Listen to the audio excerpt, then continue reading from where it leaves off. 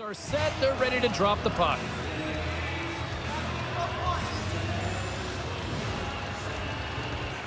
Face off here in the neutral zone, and we are back underway. Let's it fly!